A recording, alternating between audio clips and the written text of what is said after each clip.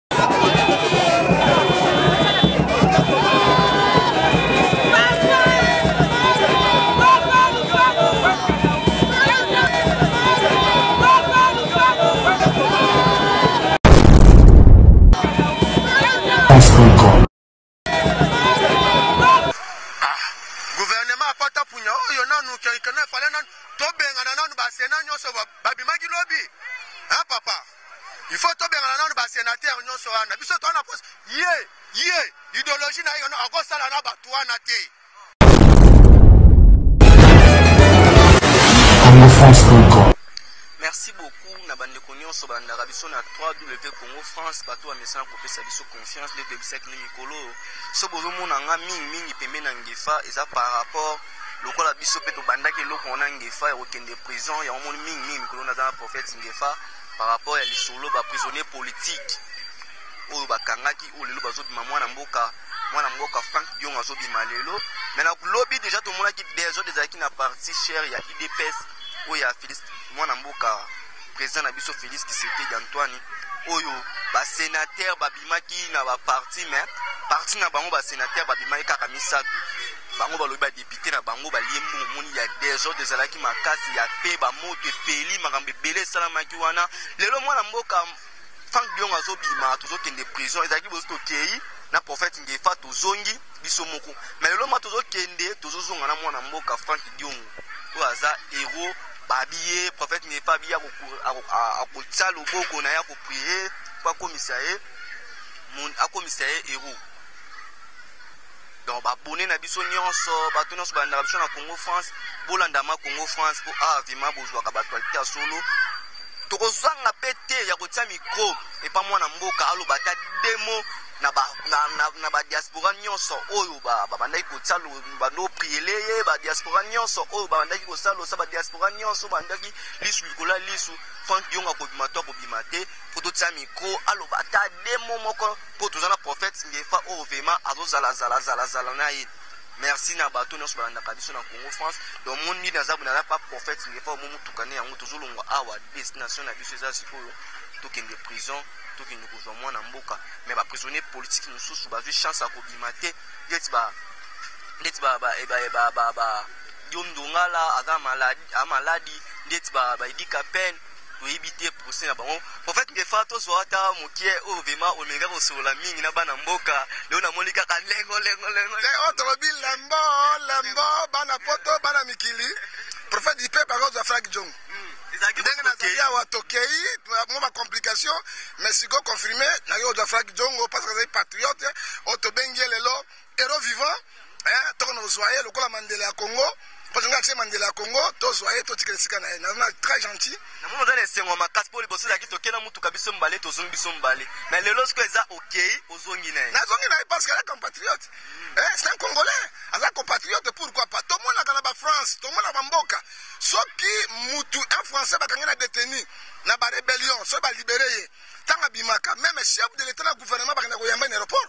Parce que azali compatriote na Congo ce monsieur français. Pourquoi pas Frank Djongo otobenge héros vivant Mandela ya Congo lelo oyo aza kobima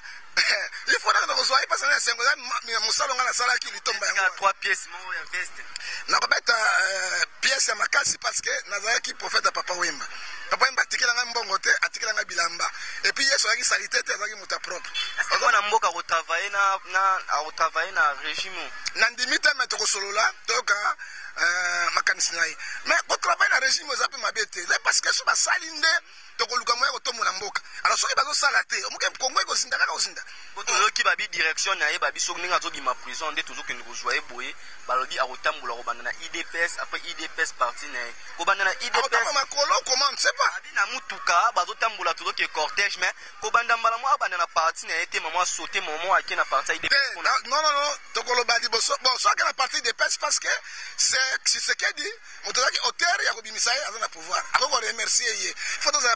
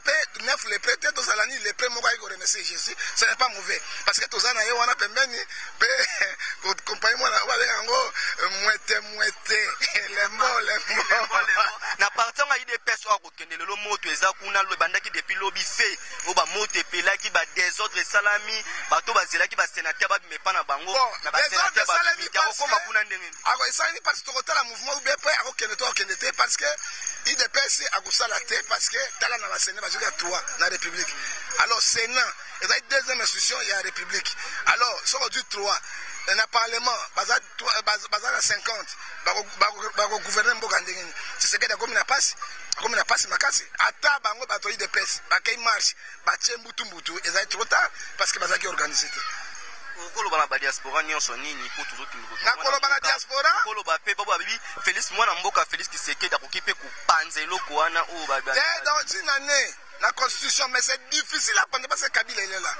c'est difficile à prendre parce que Kabila aza FCC ezali aza na puissance nyonso hein constitution epesi yango prérogative d'après une année ko dissoudre le parlement deux parlements mais pas maintenant alors ba parlementaire ba telemi esoka sanga ba toloko ba kimbuta ba tonga ba sénat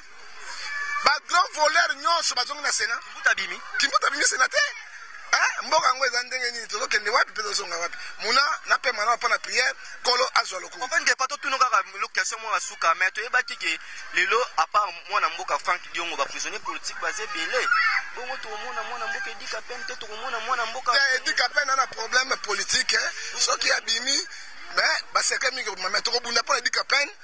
mikolo nsima ebima me eh, ndeko na biso diomi ndio aza serieusement malade je crois lundi tokokende na bino elongo place yango hôpital na prison euh, na kote ya ndolo banda prison il faut tolobela président koloba mingi mpo na apesa mesure de grâce parce que ye nde azali mpena grand combattant idps ye nde abundi bitumba oyo lelo abundi na kisekedi de pere il faut mwana mpe aza reconnaissant vere abimisa ye abanga kabila pona nini. Merci prophète ngefa toza na biso awa tozo solola vraiment tozo kende prison ya makala bo comprendre vraiment lokola biso tobandaki makambo yango yango toza vraiment mpo kosolola mpe makambo yango mpo ezala ezala ndenge bato bazozela vraiment merci na alain de bcbg na nsima camera mosala ezosalama kaka bos na nga josé dipumba moto ya mayele vraiment moto asololaka na bana ne kitoko munala artiste yo azokendela so 5 ans so 4 ans eza vraiment effort ya mosala na boso azosolola bato malamu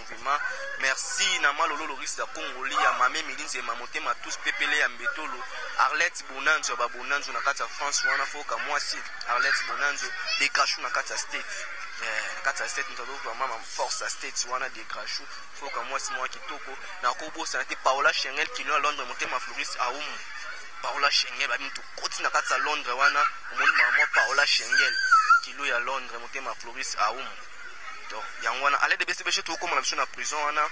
toyeba oyo oh, nini kopase wana parcours nzela oyo akotambola napesi nini bareference tokokende idp toyebi te to kuna toyeki ti sikoyo moto ekopela gerson de kosalama toyebi te baza na mposa bapanza basenatere yango babandela makambo yango na babi après une année toseki compatriote nakobanga te ngai moko moto nasalaki demarche ya monene ya frank jongo comme héros heros vivant yango ngai moko nakei kozua ye eza mutu te nini te se ngai moko nakei kozua ye parce que azali compatriote mais c'est la première fois tomona obimi na nzela boye mpo toyebi yo obangaka yo toyebi yo obangaka bagaz yo obunda komba te mais ya fabio nazosala nini ya komba komba nzela yo bimaka te eza bakomba nazali ya compatriote eh, ngai moko Nakeyi kozuwa president parce que nabundaki bitumba na prison te ye oyo abimi hein parce que am congolais sima na yango edi kapene nakobundela ye mpe edi kapene nakobima sima na yango nakokende lisusu epai ya jomi mlongala akobima plein boye esali yo ndenge nini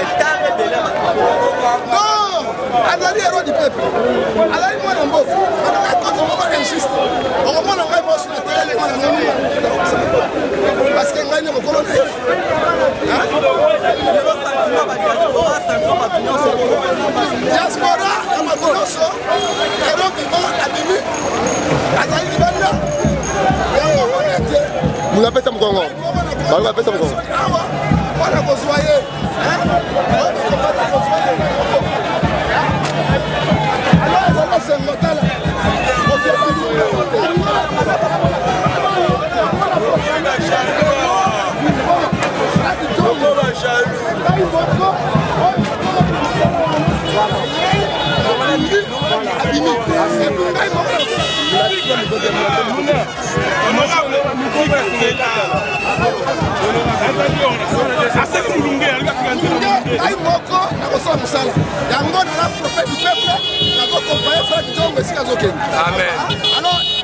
ingeta ingeta tata ingeta ewo viva depuis déjà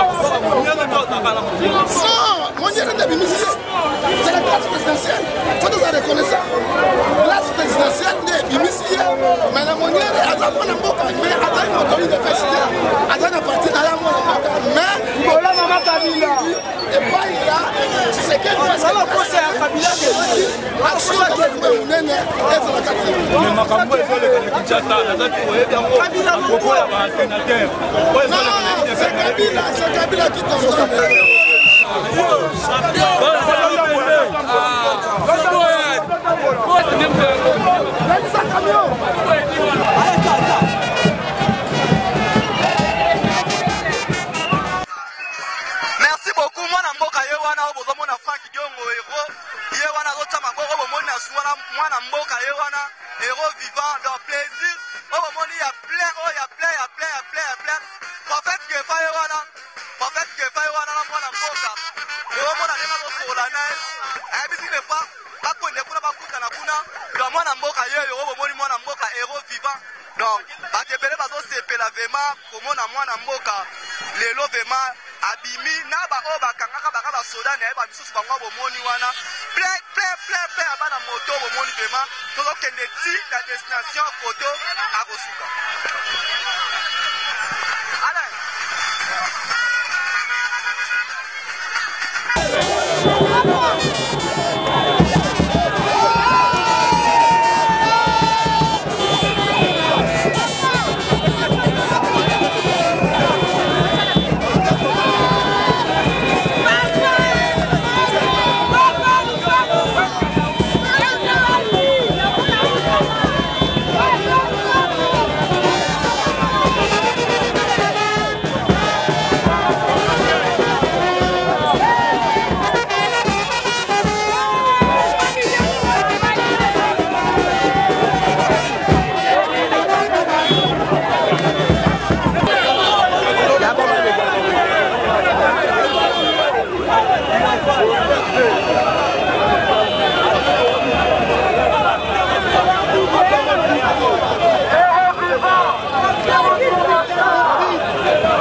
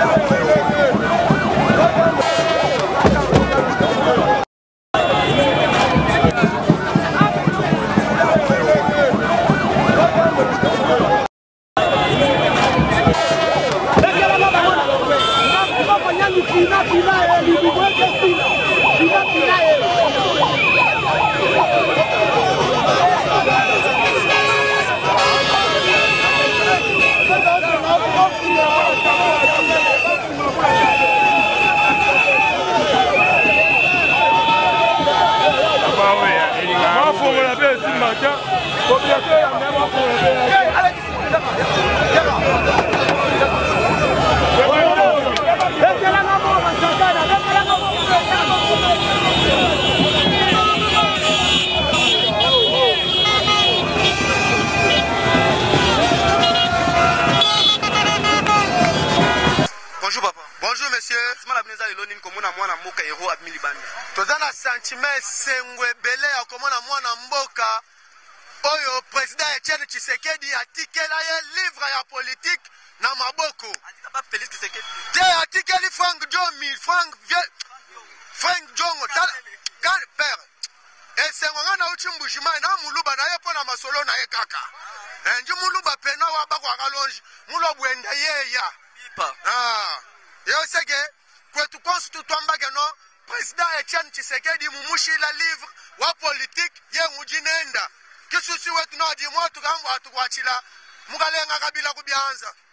Tokomona bino pe bokoya mokolo ba oyo batikali bakobima.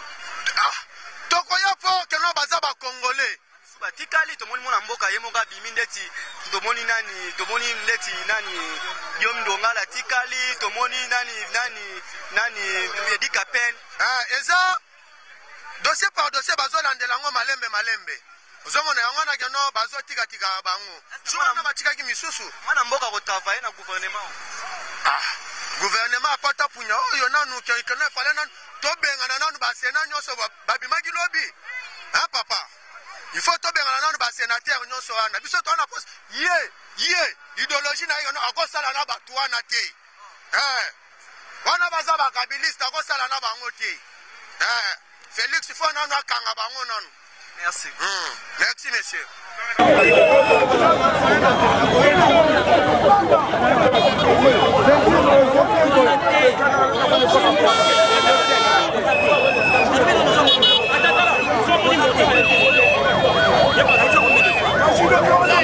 Oza